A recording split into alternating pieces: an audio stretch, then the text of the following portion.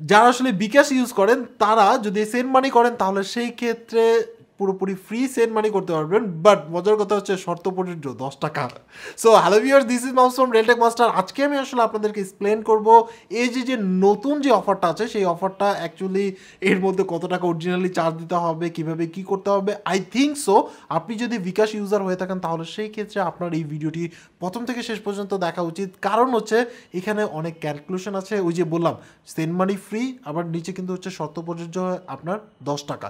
So এই যে যে দশ টাকা এই দশ টাকাটা আসলে কত টাকার ক্ষেত্রে, কীভাবে কি টোটাল ডিটেলস নিয়ে আজকের ভিডিওটি সো ভিডিওটি শুরু করার আগে আপনি যদি আমার এই চ্যানেলের নতুন দর্শক হয়ে থাকেন, তাহলে অবশ্যই অবশ্যই সাবস্ক্রাইব করবেন। এই যে যে সাবস্ক্রাইব বাটনটা আছে, সেটা প্রেস করে দিবেন এবং সাথে যে বেল আইকন আছে, সেটা প্রেস করে অল করে দিবেন, তাহলে নতুন কোনো ভিডিও যখন পাবলিশ হবে, সবার আগে দেখতে পারবেন। আর এই কথাটা বলার উদ্দেশ্য হচ্ছে মানে বুঝে নিতে যে ইউটিউবের অ্যালগোরিদমটা এরকম দ্যাটস হচ্ছে এই কথাটা বলতে হয়। আর যদি ভিডিওটি আপনার কাছে হেল্পফুল মনে হয়, তাহলে অবশ্যই অবশ্যই লাইক দিবেন। সো চলুন শুরু করি আজকের ভিডিও সো ভিডিও শুরুতেই বলে দিচ্ছি যে অ্যাকচুয়ালি এই ভিডিওটি আপনাকে কষ্ট করে প্রথম থেকে শেষ পর্যন্ত দেখতে হবে। রিজন হচ্ছে কিছু ইনফরমেশন দিব, যেমন ফর এক্সাম্পল কীভাবে আপনি আসলে পার্টনার অ্যাড করতে পারেন, কীভাবে আসলে রিমুভ হবে, কত তারিখে গিয়ে রিমুভ হবে রিসেট কবে হবে। আমার মনে হয় এই ভিডিওটি আপনাকে আসলে প্রথম থেকে শেষ পর্যন্ত দেখে আমাদের যে প্রসেস আছে, সেই প্রসেসটা আমরা আসলে এই ভিডিওর মাধ্যমে দেখাই দিব যে কীভাবে এই প্রসেস মানে এই যে যে নতুন সিস্টেম হলো, সেই সিস্টেমের সাথে আপনি কীভাবে আসলে এটাকে অপারেট করবেন এবং এই ক্ষেত্রে কোন কোন ক্ষেত্রে বেনিফিট আছে? আপনি আসলে এখন থেকে আপনি পাঁচটা নাম্বার আপনার ফোনের সাথে বা আপনার যে বিকাশ নাম্বার আছে, সেই বিকাশের সাথে ট্যাগ করতে পারবেন বা সেই বিকাশের সাথে আপনার হচ্ছে প্রিয় নাম্বার হিসাবে সেট করতে পারবেন। One kind of F N F টাইপের শেষ পর্যন্ত মোবাইল ফাইন্যান্সিয়াল সার্ভিসের মধ্যে আপনার এফ এন এফ চলে আসছে। এবার হচ্ছে এই পাঁচটা নাম্বার অ্যাড করার পরে আপনি যদি টাকা সেন্ড করেন, সেই ক্ষেত্রে পঁচিশ হাজার টাকা পর্যন্ত ফ্রি বাট এখানে একটা বড় চেঞ্জ এসেছে, যেটা হচ্ছে আগে আমরা যে কোনো নাম্বারে মানে যে কোনো নাম্বারে আপনি যদি হচ্ছে হলো বিকাশ করতেন, তাহলে পাঁচশো টাকার নিচে যে কোনো অ্যামাউন্ট আপনি যদি বিকাশ করতেন, তাহলে সেই ক্ষেত্রে কোনো প্রকার চার্জ লাগতো না অ্যাপ থেকে। বাট এখন থেকে আপনি বিকাশের যে কোনো নাম্বারে যদি আপনি আসলে টাকা সেন্ড করেন, তাহলে সেই ক্ষেত্রে প্রিয় নাম্বার বাদে, তাহলে সেই ক্ষেত্রে পাঁচ টাকা আপনার চার্জ দিতে হবে। আপনি যদি দশ টাকা সেন্ড করেন, তাহলে সেই ক্ষেত্রে পাঁচ টাকা দিতে হবে। আপনি যদি পঞ্চাশ টাকা সেন্ড করেন, তাহলে পাঁচ টাকা দিতে হবে। আপনি যদি আসলে পঁচিশ হাজার টাকা পর্যন্ত আপনি আসলে পাঁচ টাকা করে চার্জ দিতে হবে। সো এটা কিন্তু একটা বড় মানে আমার কাছে মনে হয়েছে যে একটু বেশি বেশি চার্জ হয়ে গেছে। মানে অল্প কিছু টাকা ট্রান্সফারের জন্য আপনার হচ্ছে অনেক চার্জ বিশেষ করে হচ্ছে মোবাইল ফাইন্যান্সিয়াল সার্ভিসের মধ্যে। ফ্রির ব্যাপারটা আমি একটু ক্লিয়ার করি। ফার্স্ট অফ অল হচ্ছে আপনি পাঁচটা নাম্বার পর্যন্ত অ্যাড করতে পারবেন। আপনার যে বিকাশ আছে সেখানে, সেই নাম্বারগুলোতে আপনি যদি টাকা সেন্ড করেন, মনে করেন আপনি পাঁচশো টাকা সেন্ড করছেন, পাঁচ হাজার টাকা সেন্ড করছেন দশ হাজার টাকা সেন্ড করছেন, কোনো সমস্যা নাই এই ক্ষেত্রে আপনার কোনো চার্জ কাটবে না। বাট পঁচিশ হাজার টাকা যদি হয়ে যায়, আপনি টাকা ট্রান্সফার করছেন, পঁচিশ হাজার টাকা। পাঁচটা নাম্বারের মধ্যেই, মনে করেন এক নম্বরে পঁচিশ হাজার দিলেন আর এক নম্বরে পঁচিশ হাজার দিলেন, তাহলে কিন্তু হবে না। আপনি ধরেন এই নাম্বারে পাঁচশো টাকা দিচ্ছেন ওই নাম্বারে ছশো টাকা দিচ্ছেন এভাবে করে টোটাল পাঁচটা নাম্বারে যদি আপনার পঁচিশ হাজার টাকা পর্যন্ত সেন্ড মানি হয়ে যায় আপনি টোটাল পাঁচটা নম্বরে যদি সেন্ড মানি হয়ে যায়, তাহলে সেই ক্ষেত্রে এর পরবর্তীতে আপনি যে কোনো ট্রানজেকশন যত টাকাই পাঠান না কেন, যদি পঞ্চাশ টাকা পাঠান, তাহলে সেই ক্ষেত্রেও পাঁচ টাকা দিতে হবে। আপনি যদি মানে ওর পরে, পঁচিশ হাজারের পরে আপনার হচ্ছে পাঁচশো টাকা পাঠান, সেই ক্ষেত্রেও পাঁচ টাকা চার্জ দিতে হবে। সো এইভাবে করে আপনাকে চার্জ দিতে হবে। ক্লিয়ার করি আবারও অনেকে হয়তো বুঝবেন না। একটা নাম্বারের ক্ষেত্রে প্রযোজ্য না, সব মিলিয়ে। এখন মনে করেন আপনি একটাতে দশ হাজার পাঠাইছেন, আরেকটাতে পনেরো হাজার পাঠাইছেন, আরেকটাতে হচ্ছে দশ হাজার পাঠাইছেন। সো এইভাবে করলে তখন কিন্তু ওই যে পঁচিশ হাজারের কোটা সেটা শেষ হয়ে যায় পরে যে পাঁচ টাকা চার্জের ব্যাপারটা, সেটা কিন্তু অ্যাড হয়ে যাবে। শুধু যে পাঁচ টাকা চার্জ তা কিন্তু না। এবার এসে হচ্ছে আরও কিছু আপনার হচ্ছে আপডেট দিই। সেটা হচ্ছে এই যে পঁচিশ হাজার টাকা গেল, পঁচিশ হাজার টাকা থেকে আপনি পঞ্চাশ হাজার টাকা পর্যন্ত যেই টাকাগুলো পাঠাবেন, পঁচিশ হাজারের পর থেকে যত টাকাগুলো পাঠাবেন, আপনি এই পাঁচটা নাম্বারের ক্ষেত্রে আমি বলতেছি, আপনি যে যত টাকায় পাঠাবেন, সেই ক্ষেত্রে আপনাকে চার্জ দিতে হবে হচ্ছে প্রতি ট্রানজেকশনে পাঁচ টাকা করে। এবার আসি হচ্ছে, ধরেন পঞ্চাশ হাজারের কোটা শেষ হয়ে গেল, এবার এর পরে টাকা মানে যেহেতু আপনার দুই লাখ টাকা পর্যন্ত সেন্ড করা যায়, এর পরের টাকাগুলো যদি আপনি সেন্ড করেন, তাহলে সেই ক্ষেত্রে আপনার প্রতি ট্রানজেকশনে দশ টাকা করে চার্জ দিতে হবে। যাই হোক আপনাকে হচ্ছে দশ টাকা করে চার্জ দিতে হবে, কিছু বলার নাই। এবার হচ্ছে আপনি যে কটা পাঠান টাকাটা দশ টাকা পাঠালে দশ টাকা চার্জ দিতে হবে, পঞ্চাশ টাকা পাঠালে দশ টাকা চার্জ দিতে হবে, দুই লাখ টাকা পর্যন্ত যত টাকাই পাঠান না কেন, সেই ক্ষেত্রে আপনার হচ্ছে দশ টাকা চার্জ দিতে হবে। এই ক্ষেত্রে আমি আবারও বলে দিই, যে বিকাশের যে লিমিট নর্মাল যে লিমিট সেই লিমিটই থাকবে। পঁচিশ হাজার টাকার উপরে আপনি সেন্ড করতে পারবেন না টোটাল একদিনে তো এই লিমিটই থাকবে বাট আপনাকে চার্জ কিন্তু ইনক্লুড করে দিল। এবার আসলে আরেকটা ব্যাপার দেন হচ্ছে আপনার আদার্স নাম্বারের ক্ষেত্রে আগের মতোই থাকতেছে। আগের মতো বলতে হচ্ছে আপনি সেন্ড করলে পাঁচ টাকা তো করে চার্জ কাটবে, যেটা আগে ছিল না মানে পাঁচশো টাকার নিচে ছিল না বাট আপনার এখন থেকে যেই ক টাকার সেন্ড করেন না কেন, সেই ক্ষেত্রে আপনাকে পাঁচ টাকা চার্জ দিতে হবে। সো আদার্স নাম্বারে টাকা সেন্ড করা মনে হয় এখন নিষেধ হয়ে যাচ্ছে। যাই হোক তারপরে হচ্ছে পঁচিশ হাজার টাকার উপরে যদি আপনি লেনদেন করেন, তখন আপনাকে দশ টাকা করে চার্জ দিতে হবে। সো বুঝতেই পারছেন যে আপনি আসলে যেভাবেই লেনদেন করেন না কেন সেন্ড মানি করতে গেলেই আপনাকে আসলে চার্জ দিতে হবে। সো এটা গেলে একটা ব্যাপার। এরপরে আমি আসলে কীভাবে অ্যাড করবেন তারপরে আমার কিছু মন্তব্য আছে এটার অল্টারনেটিভ অপশন আছে। ফার্স্টে এসে আমরা বিকাশের সাথে কথা বলি ওইখান থেকে ক্লিয়ারিফিকেশনের পরে আমি আসলে আমার মন্তব্য এবং হচ্ছে কীভাবে আপনি নাম্বার অ্যাড করবেন সেটা আমি দেখাবো।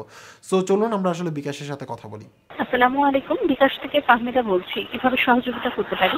জি একটা ইনফরমেশনের জন্য কল দিলাম। সেটা হচ্ছে যে বিকাশের মাধ্যমে আপনার হচ্ছে সেন্ড মানি ফ্রি এই জিনিসটাই সম্বন্ধে একটু জানতে চাচ্ছিলাম দেখলাম আজকে একটা আচ্ছা স্যার বর্তমানে আপনি বিকাশ অ্যাপের মাধ্যমে আপনার প্রিয় পাঁচটি নাম্বারে মানে পাঁচটি বিকাশ অ্যাকাউন্ট নাম্বারে অ্যাপ এবং star two four seven hash dial করে উভয় মাধ্যমে পঁচিশ হাজার টাকা পর্যন্ত ফ্রি লেনদেন করতে পারবেন এক মাসে।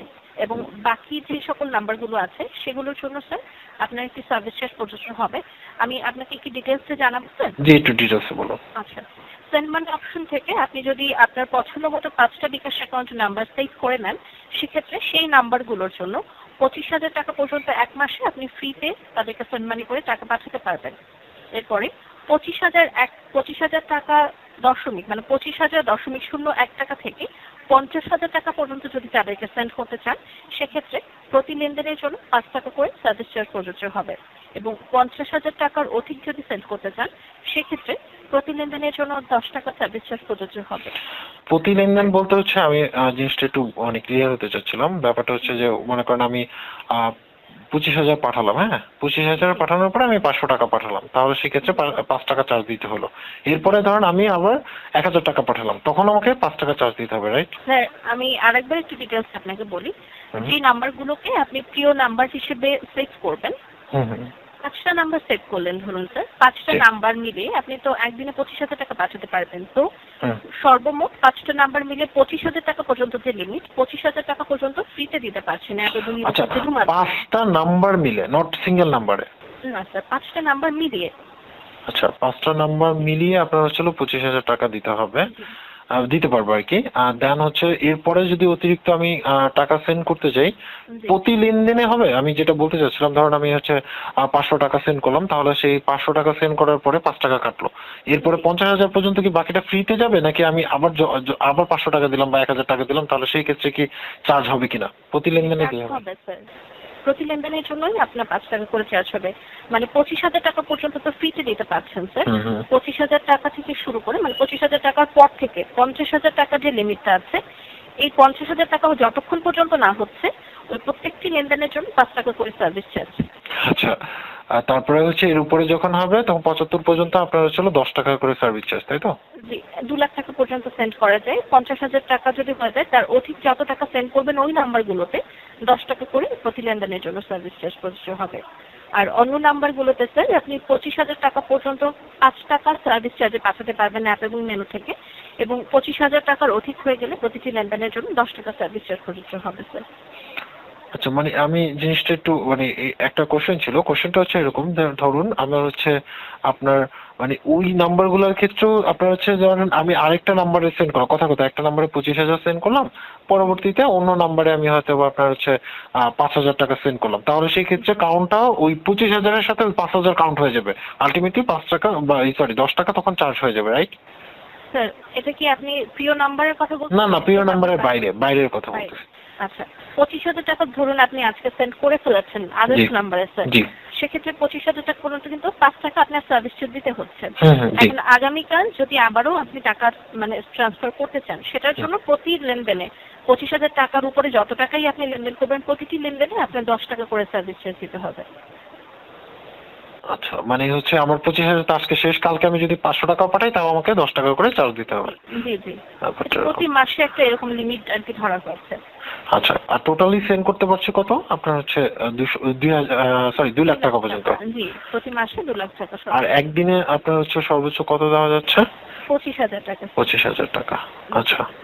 আর সেটা আমি মানে দুইটা মিলিয়ে দিতে পারব? মানে ফর এক্সাম্পল মনে করেন যে আমি আমার প্রিয় নাম্বারও দিতে পারব? নাকি না আসলে সব মিলিয়ে আপনার হচ্ছে পঁচিশ হাজার টাকা তাই তো?